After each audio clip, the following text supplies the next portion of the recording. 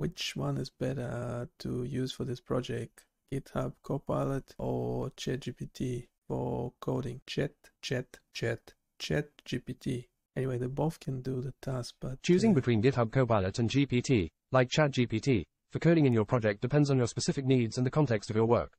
GitHub Copilot, asterisk integration. Okay, okay, okay. Just uh, do it quietly.